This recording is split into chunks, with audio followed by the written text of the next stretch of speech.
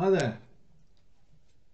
The book we're going to talk about today in the series on martial arts is uh, the autobiography of uh, the UK's most prominent and successful mixed martial arts fighter, Michael Bisping. Uh, and he's titled his book Quitters Never Win, which really is, is a, a great way of summing up his career. Now, Michael Bisping uh, grew up in Lancashire, Clitheroe, Lancashire. His father was in the army, and um, he became interested in uh, the martial arts, initially jiu-jitsu at a very early age, about eight, and then um, competed in various forms, including uh, up to um, full contact fighting.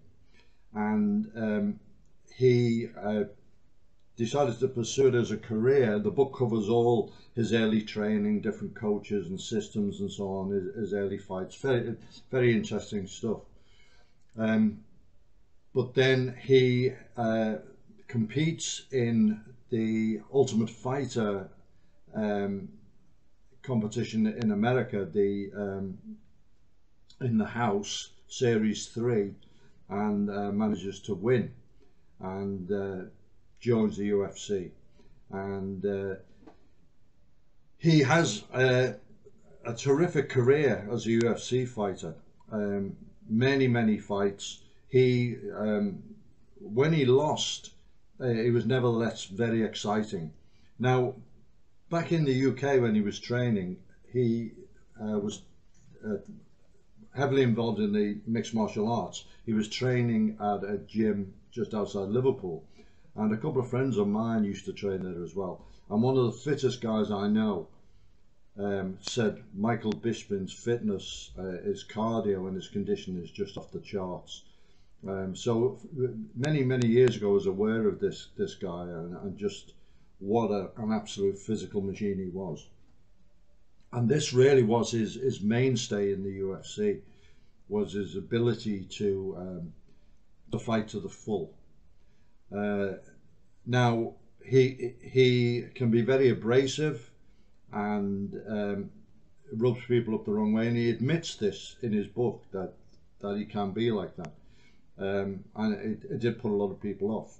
And uh, but when you read the book, um, you find out he's got a great sense of humour. Um, he's a committed family man, very admirable qualities and his his um, absolute commitment to training and, and to winning uh, runs right through his, his, whole life. So the book uh, is very illuminating from that point of view.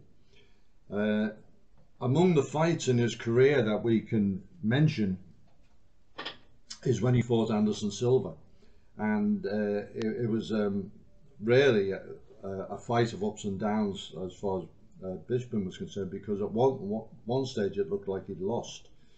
Um, but he actually came back to win the fight. And I, I, think that was a big turning point in his career.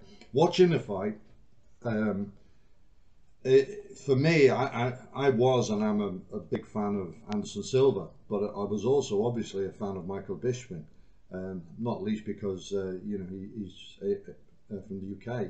Um, but I, I had followed his career and I did admire his way of fighting. And being able to beat Anderson Silva um, really was a big, big step in the right direction.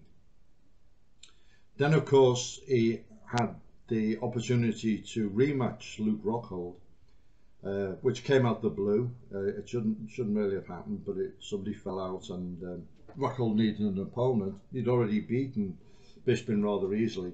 Um, Bisping uh, knocked him out and became champion. So that was the pinnacle of his career. And uh, deservedly so, because uh, he um, wasn't handed anything on a golden platter. He, he had to work hard for everything. And um, he, he, he never lost sight of his goal to be the champion, even though at times it looked like he'd never attained it. So um, since uh, um, retiring from active fighting, he's become uh, a very, very good commentator.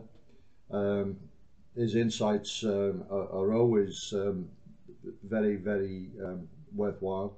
He uh, has a podcast uh, full of um, his comments on mixed martial arts in general. He's been inducted into the Hall of Fame.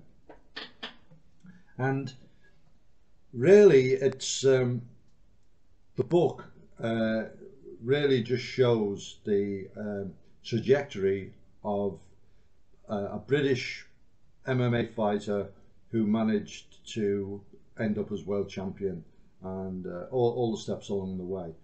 Uh, it's well worth reading. Uh, if you're at all interested in the UFC, um, it'll be a book for you, and I really enjoyed it.